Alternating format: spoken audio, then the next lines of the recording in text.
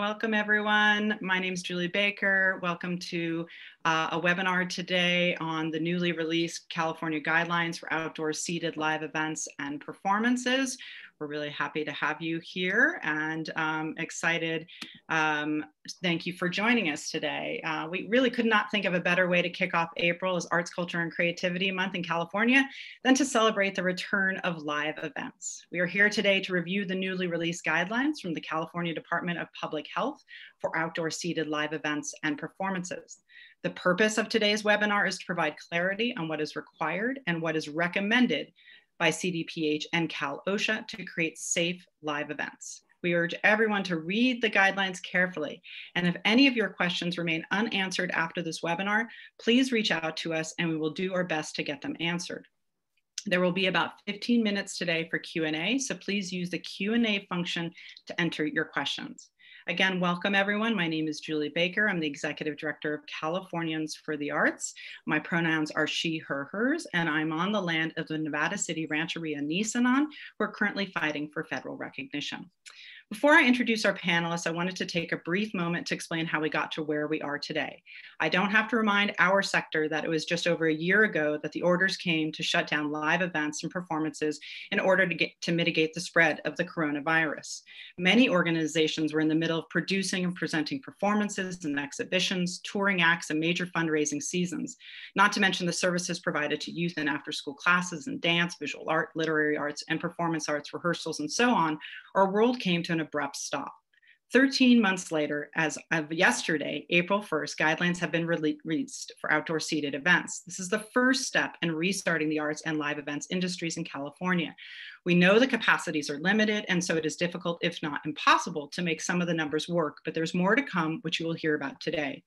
We also know our sector has been devastated by the closures, with 59% of creative workers made unemployed by COVID 19 69% of businesses, including nonprofits, severely impacted, and an estimated $43.1 billion revenue loss for the creative industries in 2020. We need guidelines as they're coming out now. We're so grateful for that. And we need stimulus investment too. In terms of our work to get here today, we first started communicating with the Governor's Office of Business and Economic Development, GoBiz, in June of 2020. In the late summer, we conducted a series of regional conversations across the state and learned that the number one issue for our sector was to get reopening guidelines from the state. After that, Californians for the Arts assembled a 50 plus volunteer task force of industry leaders in multiple disciplines to discuss reopening arts safely and combine efforts to communicate with the state. Over the last several months, a smaller group of industry expert, experts have been meeting regularly with CDPH and GoBiz regarding the release of guidelines. The work has been collaborative and transparent. We truly appreciate the leadership and earnest attention to see our industry reopen and safely get back to business.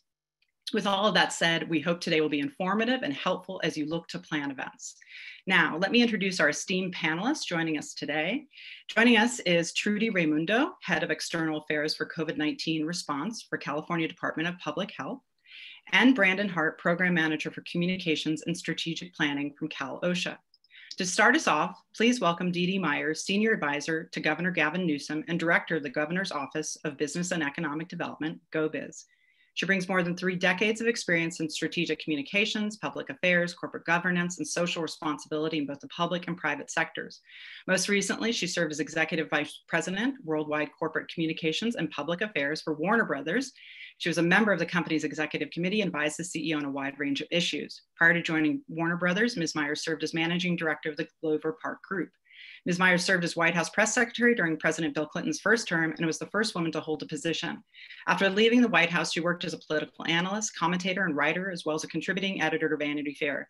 She is author of the New York Times best-selling book, Why Women Should Rule the World, and served as a consultant on the Emmy-winning, award-winning drama series, The West Wing. She is no stranger to the creative industries. Dee Dee, welcome, and thanks for being here today. Um, thank you so much, Julie, and thank you everybody for being here. Um, first of all, we haven't released the guidance quite yet, so you guys are getting a sneak peek. Um, and so uh, uh, it, it, will be released later today, uh, and I'm sure you'll see coverage of it over the next few days. So uh, to, just to go back to what Julie said, um, this has been a collaborative process, and we're really grateful to Californians for the Arts uh, for your collaboration and for the insights that you provided as we seek to open the arts industries again in a way that's both safe but allows the critical mission that you guys fill in our uh, cultural life to, to, to, re, to, to restart. Um, in the interim, I know how hard all of you have worked to try to continue to do what you can um, to keep the arts community alive, to support it, to keep people safe. We know how hard you'll work going forward to keep your patrons and your performers safe, uh, and but to, but to bring back that critical cultural life that we've all missed so much over the last year. I can't believe it's been so long since we've been able to walk into a theater or live performance or enjoy all the things that enrich all of our lives so much. So uh, thank you is, is, is the first thing we want to say. The uh, second thing is Trudy will walk you through the blueprint, um, the updated the guidance for the sector. This is broad guidance. It's the first pass that will give you uh, uh, some frame for understanding how we're moving forward. Two caveats on that. We'll provide additional, more detailed guidance in the uh, let me first say this guidance will allow you to start having events according to the parameters by April 15th. So two more weeks. Uh, in that time, we will provide additional guidance, specific guidance that might help answer on paper some of the questions that you have. We'll try to answer some of those today as we as we go forward, but there will be more specific guidance coming. There will also be broader guidance of how do we get past the blueprint, and that will be coming sometime in in the coming days. Um, it will uh, it will again show a path to you know with a vaccinated and low infection rate, assuming we continue uh, down this path that we're on. I'm very grateful for and seeing it's not exactly the same in every part of the country and other parts of the world. So we're obviously proceeding cautiously and trying to be safe. But assuming things continue to move in a good direction, we will get eventually to a place where this blueprint will go away. So that guidance is coming.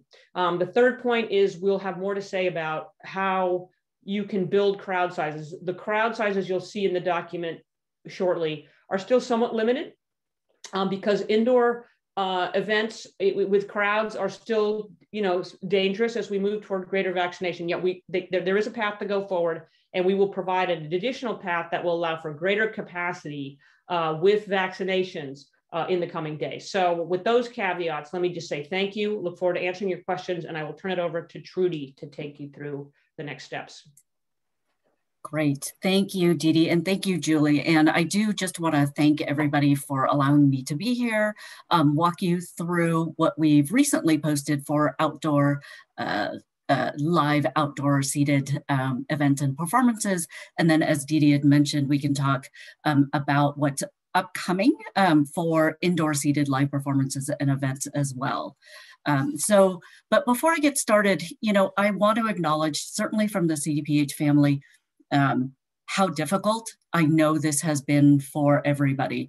Um, through this pandemic, you know, we've seen many businesses close, uh, many folks just unable to see friends, family, and really participate in activities that I think had become part of our norm, things that we had enjoyed. And so I just want to acknowledge how incredibly difficult it has been over the past year.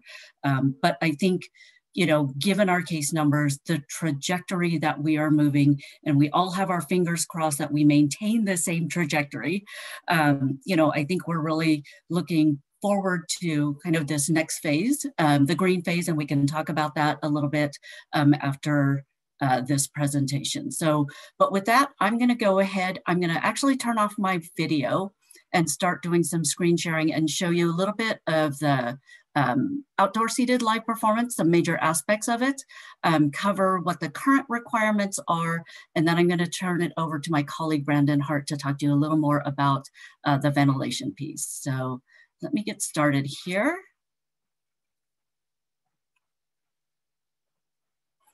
All right, so can folks see my screen? Yes. Yes, thank you. Always wanna make sure. Um, so this is the currently posted um, outdoor seated live events and performances guidance. Um, this guidance went into effect April 1st, so huge yay, perfect timing. Um, so wanted to go over really quickly in the interest of time because I know you have a lot of questions probably at the end, some major facets that I'd like to point out. Um, this is an area, and we've tried to be really mindful as we develop this guidance to be much more clear about what the requirements are versus what are purely just recommendations. And so I'm going to highlight, I think what's most important to you is what are all of the current requirements um, within this guidance. So I'm going to start off with what's applicable across all tiers, because as many of you are probably aware, we are still within our blueprint tier structure. And so um, we have certain capacity limits that go from purple, red, orange, and yellow. Um, but these are things that are required across all of those tiers.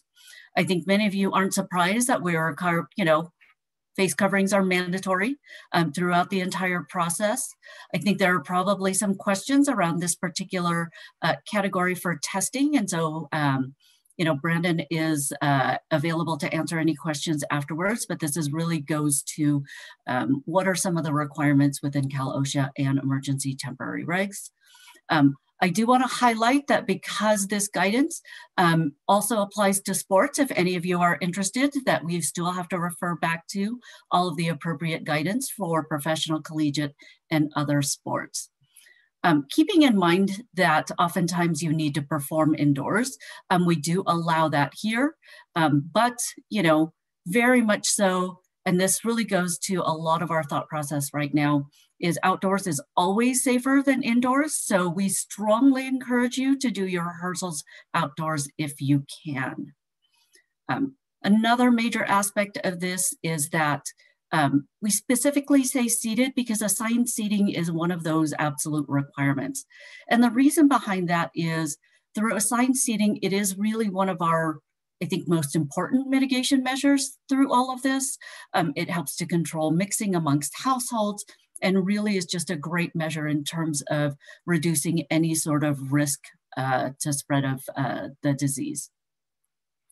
Um, couple of things around how to establish audience seating. Um, and then a couple of things, this is an area I wanna highlight, um, and this will be really important when I get to the end and talk about venues.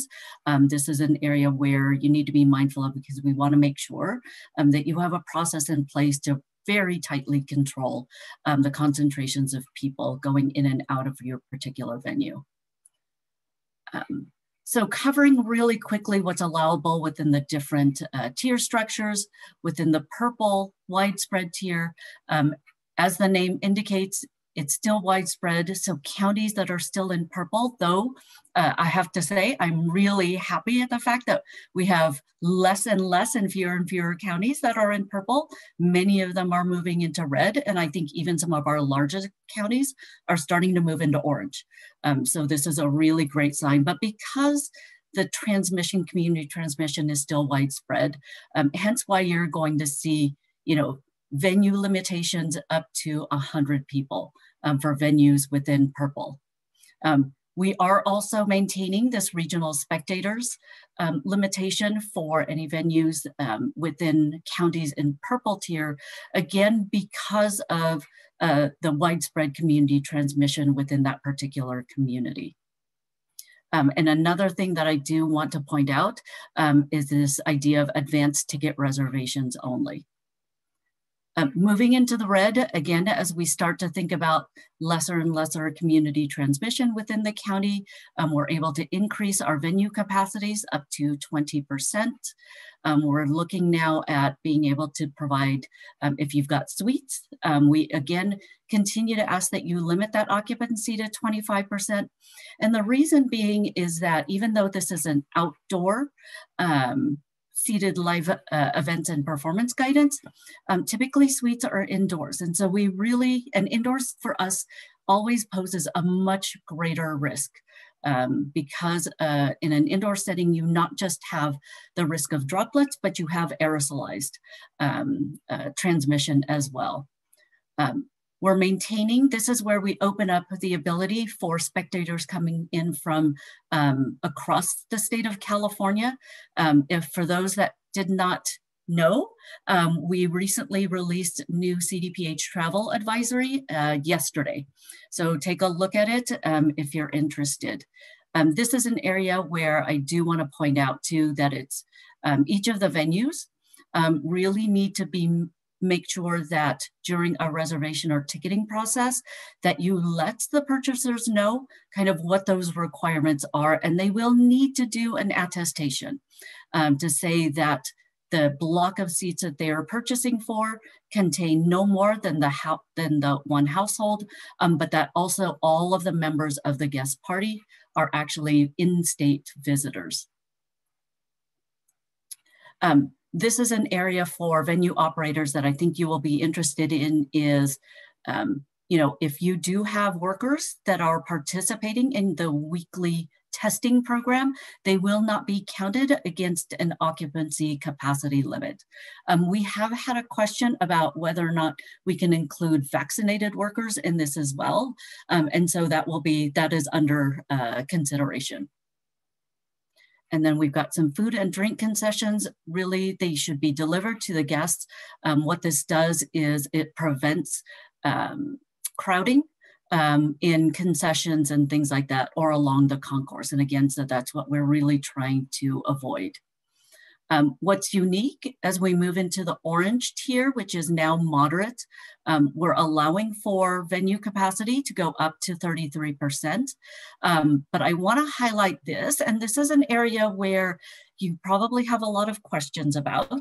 Um, and it is an area where we are actually um, actively designing um, kind of addendum uh, standards and guidelines to be able to address this.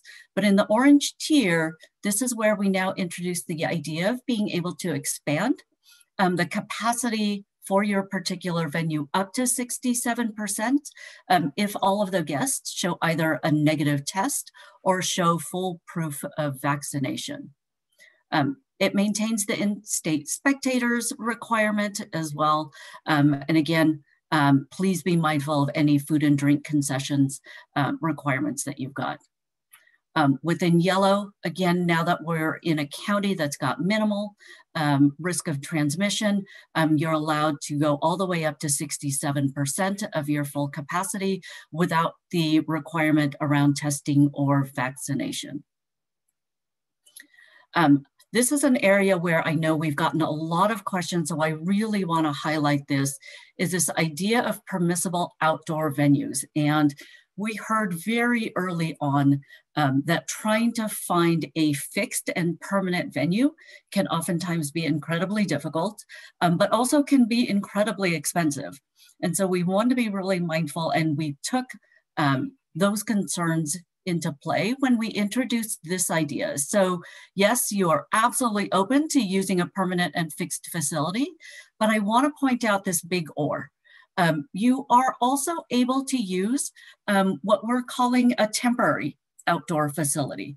Um, and really it can be you know, something that you establish then are able to establish in a park, um, in a parking lot. So it does not have to be a fixed and permanent facility, so long as you know, you are maintaining all of the requirements to establish, you know, seat assignments, um, making sure that it follows um, our current definitions around what are acceptable temporary structures. And if you want to take a look, there is current CDPH guidance around that. Um, the one thing I do want to point out is um, we're really clear in terms of what that facility needs to look like. Um, it should either be open to the sky or at least 50% of the total perimeter being open. And the reason for this is we really want to maintain the safety of an outdoor setting. Um, and so if you try to close it off with some temporary walls, um, what you've now created is an indoor setting. So please be really mindful. Outdoor is always going to be safer because really what it does is allows for natural airflow and ventilation, which is what always makes an outdoor setting infinitely safer than an indoor setting.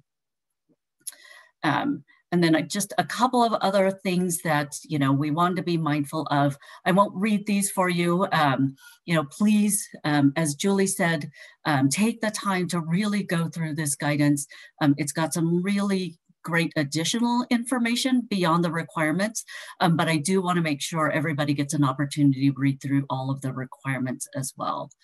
Um, and then there are additional requirements that I won't go through again around required use of face coverings, worker prevention programs, outbreak and testing, um, some individual control measures, ventilation, which my colleague Brandon will cover um, after I'm done here, cleaning and disinfecting, and then the only other thing I wanted to highlight is Um, in previous guidance, I think it was difficult to discern um, when what the requirements are versus what were the recommendations. So what we've tried to do is actually very clearly identify what are additional recommendations um, that we have for the venue. And even though the recommendations, I still would encourage you to read them. They've got some really great ideas and strategies around entry and security. We've got some really great ideas on how you can continue to protect your performers, um, especially musical performers. So we've got some really great strategies and ideas that I would encourage you to take a look at. Rehearsals, even travel. You know, how do you maintain the safety of um, not just the performers, but perhaps your own crew um, as you travel from venue to venue potentially? Um, around casting and auditions, um, construction mills and set designs, um, scenery, costume, hair, makeup. So we really tried to, create a comprehensive, all-encompassing guidance um, that allows um, for us to at least share some best practices and some, some strategies uh, with the industry. So that is my coverage of, I think, what are the major aspects of this guidance. Um, I'm going to go ahead and stop sharing now and turn it over to Brandon from Cal OSHA um, to start sharing around ventilation. Hi, thank you, Trudy. And, and thank you everyone for joining today's uh, webinar presentation. So as Trudy mentioned, um, you know, my responsibility at Cal OSHA is, is to oversee the outreach and communication. So I'll be sharing um, information about the ventilation requirements that we've included in, in the statewide reopening guidance, um, specific to this particular uh, guidance itself. So um, as you've been made aware, uh, you know, from Trudy, we do have an emergency temporary standard um, that includes um, several provisions and obligations. Um, that was passed uh, on November 30th, uh, 2020. And this ultimately to prevent employee exposure to COVID-19 in California's workplaces. So um, within the ETS, uh, employers um, who do have indoor settings, um, there are some requirements related to ventilation. And CDPH has worked with Cal OSHA on developing guidance, which is posted um, not only on Cal OSHA's website, but also on CDPH's. And the requirements um, of that particular guidance is for indoor locations. So some of these outdoor venues that do have indoor locations, such as those that um, that are have these suites or locations where, where employees will be working indoors to prepare um, food for guests, um, there are certain requirements for the ventilation. So ultimately, the employers or the venue operators have to evaluate on how to maximize uh, the quantity of, of, of outdoor air and whether it is possible to increase filtration efficiency to the highest level um, compatible with the existing ventilation system.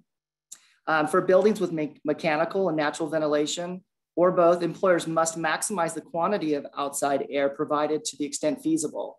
Um, so what this basically means is try to open up, you know, windows, um, ensure that the that the ventilation systems um, allow for that filtration um, with, without posing an additional hazard to employees such as excessive heat or cold, or during wildfire season when we have um, potential particulate matter in the air that we have to protect workers um, from. So um, also covered in the ETS um, are requirements when there's an outbreak that may occur within that particular unit or area where employees work. So um, employers are also required to implement changes to reduce the transmission of COVID-19 based on what they find or what they learn from their investigation. Um, and consider moving some of those tasks outdoors or having them performed um, in an area where there's improved air filtration or increased physical distancing as much as possible. Um, also, uh, employers also take uh, the following actions in buildings or structures with mechanical ventilation. Employers um, shall filter recirculated air with minimum efficiency reporting value of 13 or higher. So essentially they're to evaluate their system and increase that filtration as much as possible to ensure that, um, it, you know, if there's a um, COVID-19 outbreak within that area, they're able to protect those employees um, as much as possible uh, to prevent the spread. So those, those particular uh, obligations and requirements are outlined in the emergency temporary standards and they're also included in the statewide reopening guidance, um, you know, for, uh, for, for venues and venue operators to reference. Thank you, Trudy. Uh, thank you, Brandon. Thanks, Trudy. And thank you, Dee Dee. I think if everyone wants to, um, Dee Dee, Trudy, if you want to go ahead and put on your uh, cameras again, we will go ahead and start to get already to the Q&A, which is great. We have a half an hour to get through a lot of questions. Just to reiterate, again, I just want to be really, really clear. Today, what was shared with you are the outdoor seated uh, guidelines for live events and performances that are currently available and started yesterday. So you can start doing these performances. Secondly, I want to be very clear that it is not just permanent venues because this has been misreported in several articles. And so please look at the big capitalized or that Trudy pointed out and make sure that you, so that you, we're very, very clear on that. Third, I wanted to just state that what is coming out later today will be in the blueprint um, the beginning of uh, what will be allowable for out uh, indoor uh, um, guidelines for live events. And then, um, and those will be uh, available starting um, to activate starting April 15th. Um, correct. correct, Trudy? And, correct. Uh, all right. And then exciting on the on the you know in in the future soon especially if we all get vaccinated uh, will be uh, the green tier and uh, hopefully to a place where we can really start to see our capacities increase um, and and get back to business so um, I just want to make sure I re reiterated all of that correctly. Um, and if that's the case, I'm going to go ahead and start um, asking you guys some questions. Some of these we received prior, and then some of these are in the Q&A. So I'm going to go ahead um, with the first one. If the performers at an event are not the producer's regular employees who work a schedule, um, what are the testing requirements for the performers prior to the event? Julie, I'm happy to take that question. So this largely depends on whether the performers will be wearing face coverings and physically distance at least six feet from others. Um, if they cannot wear face coverings and maintain the six feet physical distance requirements, then they would fall under the mandatory testing requirements that are found under the emergency temporary standards. Thanks, Brandon. I also saw that somebody said, um, asked a question, can performers come from out of town? Because we know we have the restrictions on the audiences um, in some of the tiers um, in state, et cetera, but can performers come from out of town? So performers, when you say out of town from other states? I'm sorry, out of state? Yeah, and, and, that's when I would point you to the current um, updated CDPH travel advisory. Um, it talks a little bit about if you are coming into town, um, you know, what the requirements are around quarantining and things like that. So um, if you are coming in from out of state or even out of country, um, the travel advisory uh, will provide that information. Okay, yeah, because as you know, so many um, of uh, people in the industry do touring acts or bringing mm-hmm. in performers from other states um, and other countries. Does the maximum capacity of a venue include ushers, servers, and other venue employees? Yes. So the maximum capacity would include all of those workers um, and other support staff for the venue. Um, I do want to point out though that, you know, there is a caveat in the guidance that says for those workers that are participating in that regular weekly worker testing program, um, that they do not count against the capacity limit. Um, and we are also thinking about um, a question had come up previously um, whether that could include workers who are vaccinated as well. Um, and so we are taking that into consideration. Okay, so that answers what if all performers have been vaccinated? Do they still have to get twice weekly testing if they're unmasked and not six feet apart? Or maybe they mean masked and not six feet apart. So, what we are working on currently, um, and this is actually in conjunction with Cal OSHA, um, is further guidance on how to treat um, fully vaccinated performers um, and workers, um, just because you know we want to make sure that there are still worker protections um, that are maintained, and so I think that's incredibly important. but I know there's a lot of questions as to you know what what do you do with either a fully vaccinated audience or a fully vaccinated workforce? Um, and so those kinds of things will be coming out in subsequent guidance. Excellent. We look forward to receiving those and sharing those as well. Um, there's some questions around no public, I mean, it says in recommendations, no public hugging or handshakes.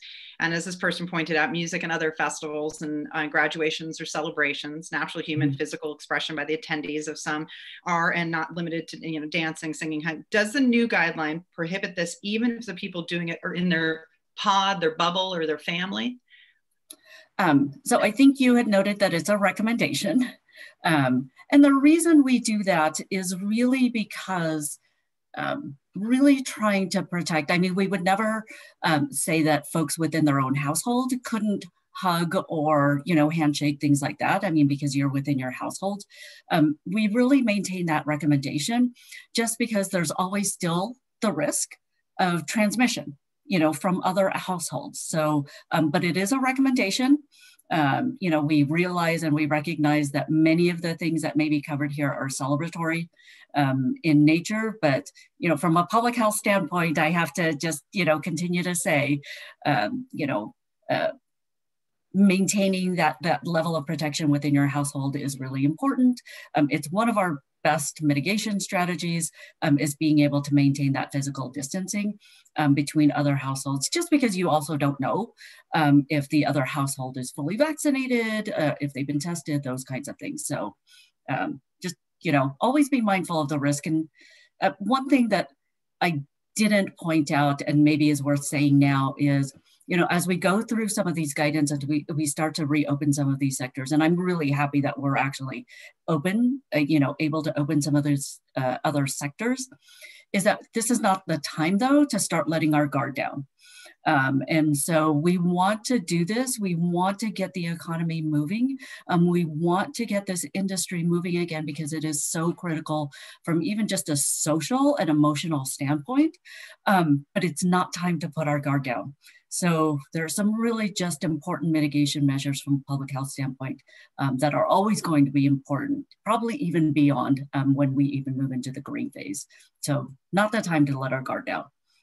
Thank you, Trudy, for those wise words. And um, also, I think it's really important when you read uh, the guidelines to recognize what are recommendations mm-hmm. and what are uh, things that are that are necessary to do in order to put on your event. Um, uh, so here's a question Who's responsible to enforce that only California residents are attending have a negative test or vaccine? And is that a report submitted to the local or state government? Um, so that will be the venue operator um, because the participants, the observers, the spectators um, will need to attest to those things that they're in-state visitors, um, but then we'll also have to show either proof of negative test or proof of vaccination. Um, we don't ask you to collect that information and report it back to the state, however. Thank you.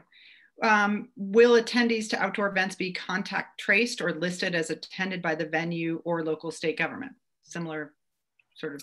Yeah, I mean, if you know it's discovered that you know we have a positive case, um, and you know we go through our normal contact tracing process, um, you know we're going to have to go through, and we'll probably connect with the venue operator to kind of figure out, especially if you know we can identify that they may have been at a venue and things like that. So um, you know, contact tracing is a core public health function.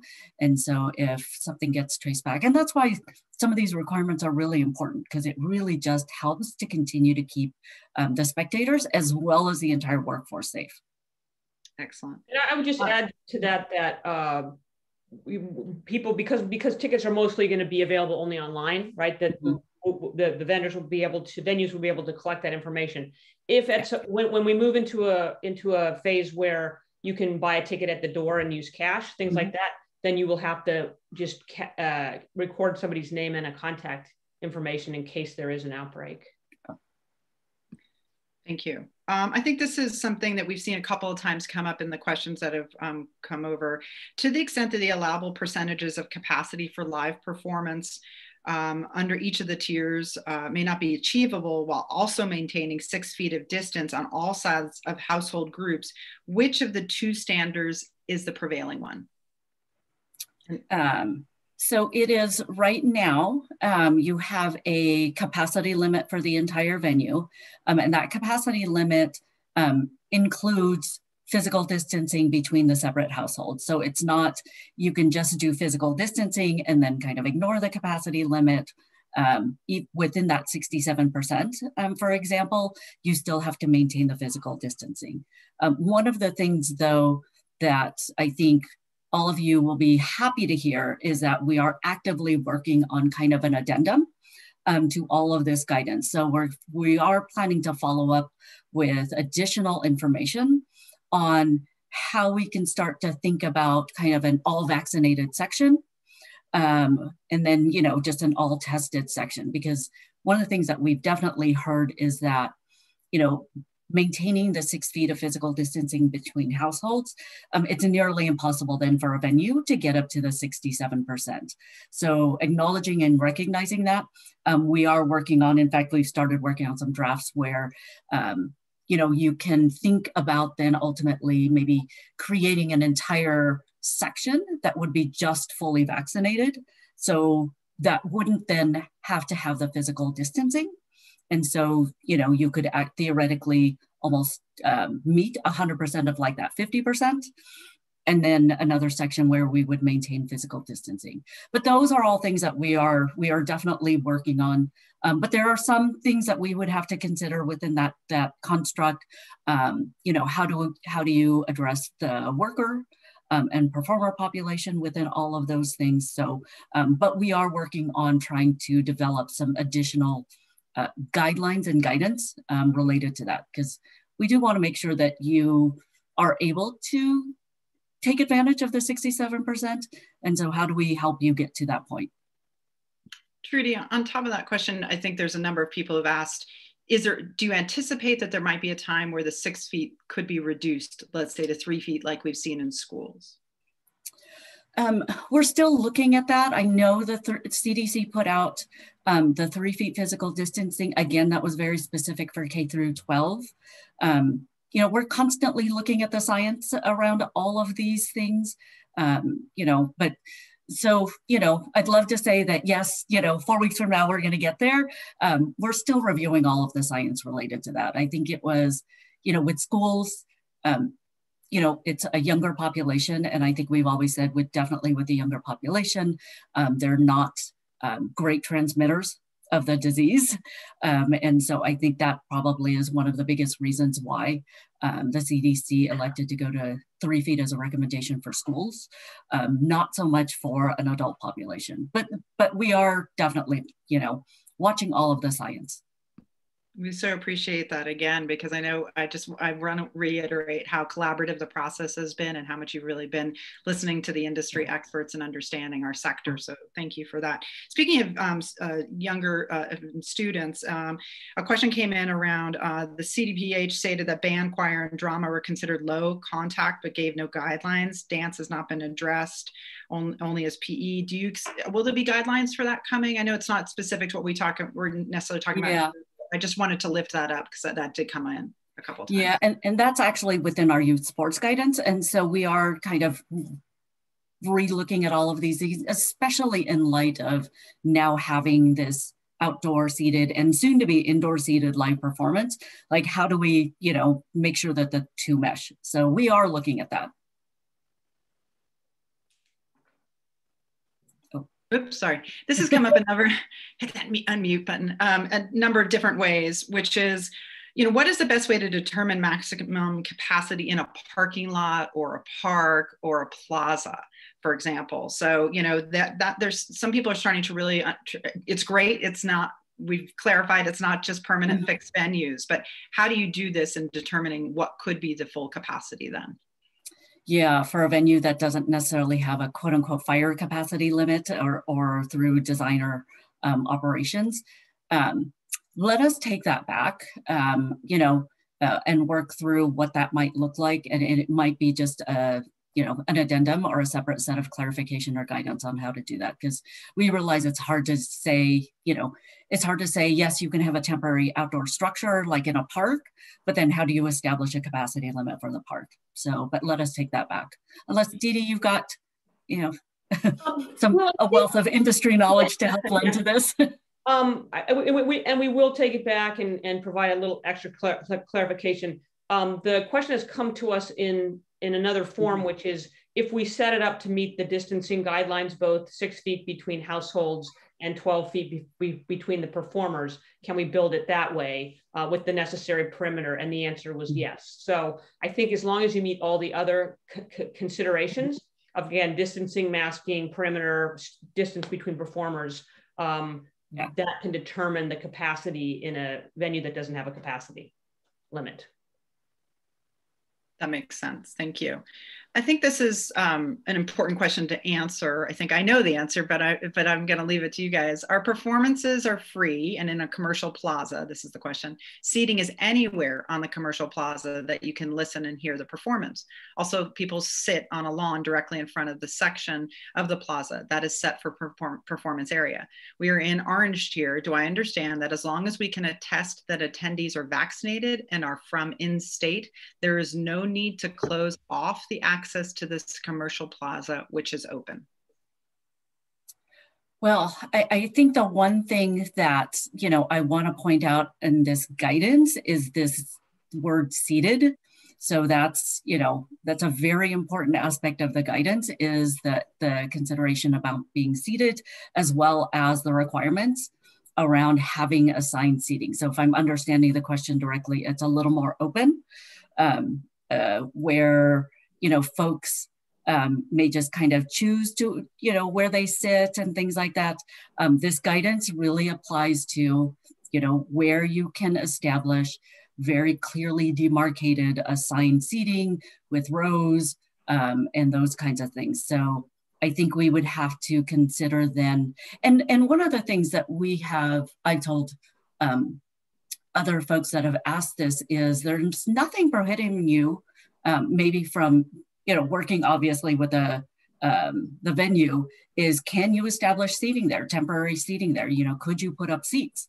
Um, that then clearly demarcate you know an area you know set it up by rows things like that so that then you meet the definition of quote unquote assigned seating and then can use this guidance um, as a result. But that is the one thing i do want to point out is that that restriction around the assigned seating because Right. It's the ability to control the mixing that's yeah. important.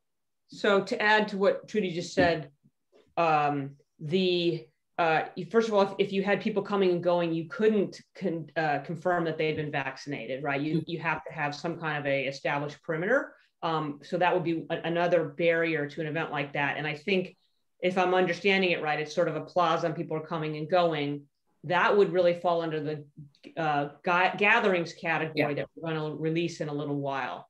Um, and those have um, uh, stricter capacity limits. Yeah, I think it's. I mean, I happen to know who the person is, and, and it's in it's a plaza in, in Los Angeles where they do free events, and so I think they're just trying to establish. I think what you were saying, if I'm if I'm understanding the guidelines correctly as well, which is that they would have to have a perimeter, they would have to ticket um, even if it's a free mm-hmm. ticket.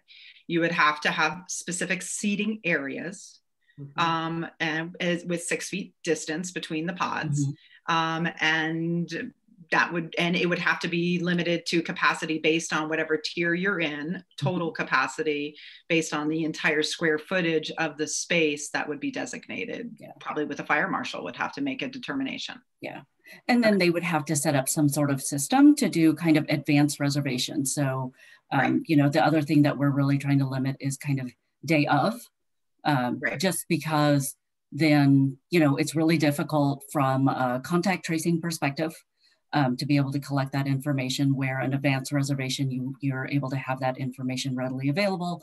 But what we also then want to discourage is like congregating at the event because people are trying to buy their tickets at the event. So we're really, you know, it's difficult to um, manage any sort of egress ingress into you know a site um, if folks are just kind of showing up during the, the day of the event um, and purchasing their tickets then so so be mindful of that requirement as well and also of course be mindful that hopefully these are just temporary as you were saying trudy and we're continuing towards um, looser tiers and and maybe even mm-hmm. past tiers if everyone continues to get vaccinated and we get to a place where yeah. uh, we're really controlling the spread so yeah but, um, but again to Dee Dee's point we are putting out gathering guidance soon um, and those gathering limitations are actually going to be part of our the blueprint sector update we post this afternoon Great. So And- for those very for those kind of open events, um, you'll be able to see what those capacity limits are by tier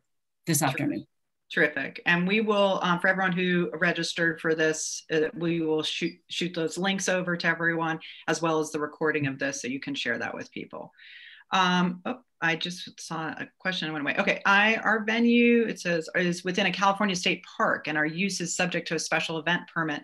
To my knowledge, the parks will not issue a permit until the entire state is in yellow tier. Is that still applicable? I think that's a state park question. Well, I'll take that back. Um, I'll note that and and talk to um, the state park because that would be a state park requirement.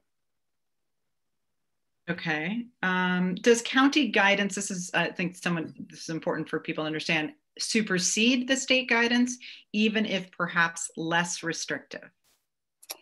So local jurisdictions always have the authority to um, institute um, more restrictive guidance from the states. Um, that's absolutely within their authority to be able to do that. Um, it is not so to be less restrictive um, than the state. So, so in other words, people who are putting on live events should familiarize themselves with the state guidelines as Yes. um, we've linked in the chat um, that are also available on our website and on uh, covid19ca.gov's website under industry guidance um, and and then also work with your local county Yes. public health departments on producing your uh, events uh, specifically in your guidelines and your maps and your instructions for that particular event Oh, absolutely. Um, just again, okay, so uh, can you please confirm that seating pods can be comprised of up to three households and that they have not issued a cap limit number of people per pod, meaning that an outdoor seating pod could have 10 people if they are from three households and form a group together to reserve their pod for an outdoor performance? So we still maintain the requirement around six feet of physical distancing between households. So, and even when you make your reservation, you have to attest that it's a single household that you're making the reservations for. So um, we recognize, you know, a lot of folks have, have um, uh, brought to our attention this idea of pods. It- it's the same way that, that we're considering like, you know, a fully vaccinated section.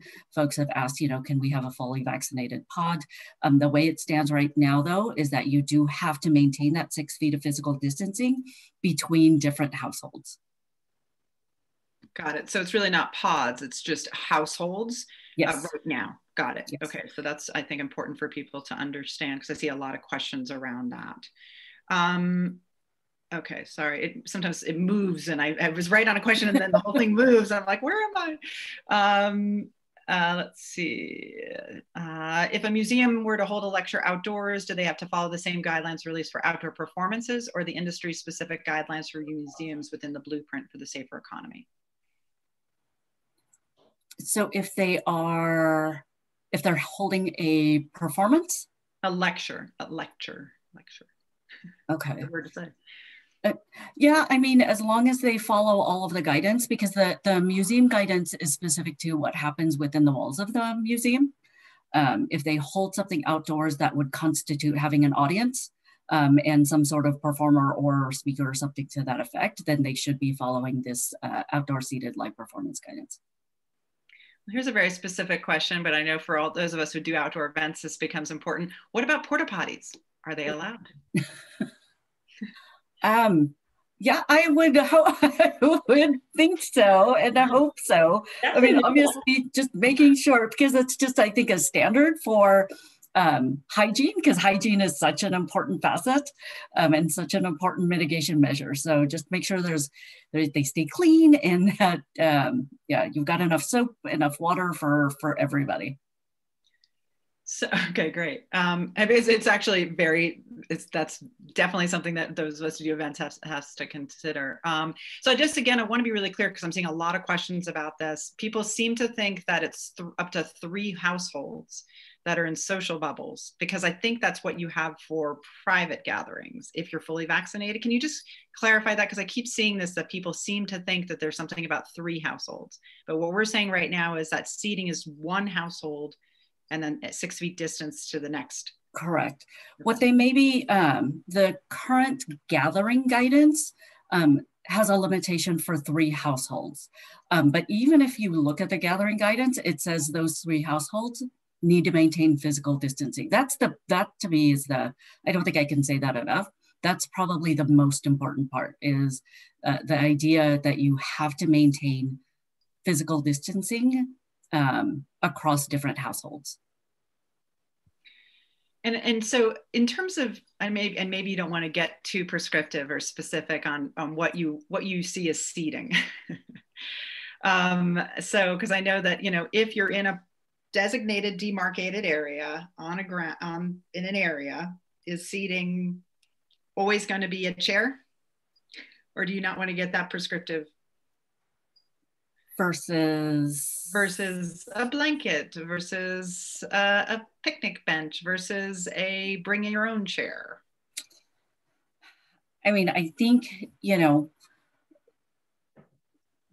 we try to be really clear about having the assigned seating for a reason um, again to be able to just control you know, mixing um, and make sure that folks, you know, that you're maintaining the ability to have to establish six feet of physical distancing. So um, we'll take that back to the group. I mean, I, I you know, we never want to get too prescriptive, but you know, the, the intent behind the assigned seating is again to control the mixing, um, to be able to um, establish, you know, clear areas where you can separate households um, from other households. So that that is truly the intent behind um, that requirement.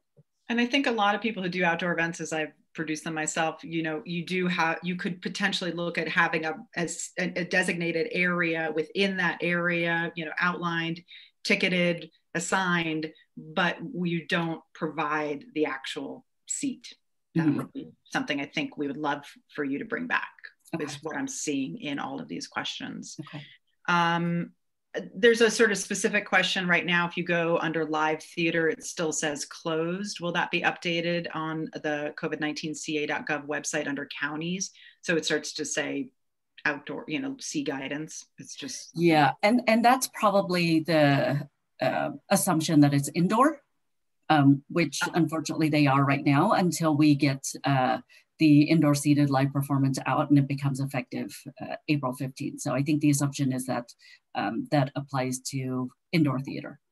Got it. Okay. Um, if a ticketed indoor performance is held in a church, which guidelines prevail? Um, so uh, ultimately, so is it within a worship setting or outdoors? I think uh, I think it, I think they don't say specific. It says indoor performance in a church. Um, um, yeah, go ahead. Yeah. So there are very specific guidelines um, already established within. If you take a look at that same CA COVID site, um, there's some specific specific guidelines um, around houses of worship. So I would refer to those very specific guidelines for houses of worship in terms of what can happen indoors. Um, but definitely if something happens outdoors, um, they should follow the outdoor seated live performance. Okay. Um, I think I'm now seeing in the questions why there's some confusion around the three households that you might want to just take a, another look at is because of the suites. It says in the okay. suite that you can have up to three households. So I think that people are saying, well, then if we designate an area outside and those people see themselves as a you know the three households could they not be seated together as a pod? Okay. Um we're still maintaining though that those have to follow the physical distancing until we get to that place you know where we can establish those additional kind of guidelines or guidance around you know what would be the implication if um, you could have a suite of just fully vaccinated individuals. You know, what would be the implication of that? And um, is their ability to, to do something other than? But until we get to that point of getting that guidance developed and stood up, even within the suites, um, they still have to maintain the physical distancing. Okay. Um, there's and we only have three minutes left i know everybody has um, noon meetings uh, I, I, I, know these go really fast we have 85 questions, um, which I we certainly couldn't get to all. Okay. What what? But I but again, you know, because we work so now in you know mm-hmm. closely with your offices, what we will do um, is make sure that we gather all of these, aggregate this, we will actually create a Google form for mm-hmm. people who didn't even get to ask their questions. Maybe they haven't read the guidelines yet. They want to read them. Then they have questions after that. And we will aggregate these questions and try, try to form an FAQs with your offices as well as much as possible so that we can address these things um, ongoing.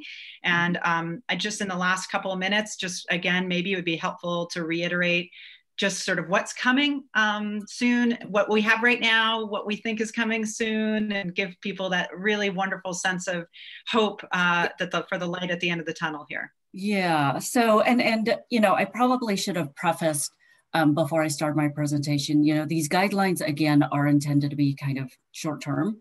Um, you know, we really wanted to get something out to the industry um, to get you operational um, and so and to get you moving. And so they really are intended to be at this bridge um, until we get to what we're calling the green phase. And the green phase really is the the idea behind the green phase is where you know we actually move out of this blueprint and move out of these tier structures um, and return to normal operations for all of the industries.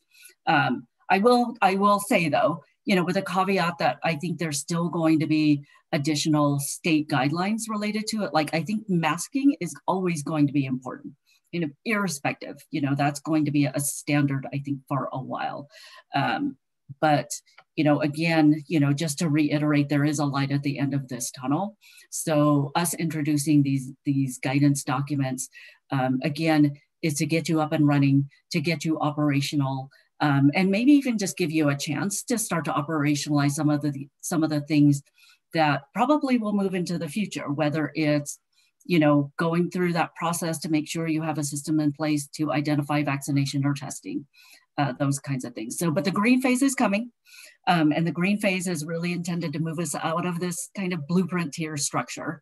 Um, and it's going to look at some broader guidelines um, at the state level that where we want to just continue to be able to employ some of these um, mitigation strategies without necessarily giving you, you know, these hard caps um, that I know many of you are struggling with. And, you know, the other thing I do want to just remind everybody is this afternoon, we're going to get out um, an updated blueprint sector chart. It will have in there um, the new uh, capacity limits for gathering, um, for private events as well as indoor seated live performance and events. So take a look at that. All of those things will have an effective date of April 15th. Terrific. Well, I just want to thank you, Trudy, Dee Dee, Brandon, for um, for your collaborative work with the industry to get these guidelines going. Um, I know there's a lot more questions. We'll do our best to respond to those um, afterwards uh, via email and such. Um, so stay tuned uh, for more information that's coming out. Um, very exciting. We do see the light at the end of the tunnel. So thank you. Any final comments from the from the group? Um, thank you, Julie, for bringing everybody yes. together and um, uh, we'll continue to work with you all to um, answer questions and provide guidance, as Trudy said, uh, to allow you to move forward. Thank so. you so much. And uh, we look forward to that. And thanks everyone for attending today. And please read the guidelines, get yourself informed, and then ask us questions, and we'll be happy to respond um, as quickly as possible. Stay safe out there, get your vaccines, and uh, we'll vaccines. see you at soon. Yes. Thanks, everyone. Thank you. Thank you.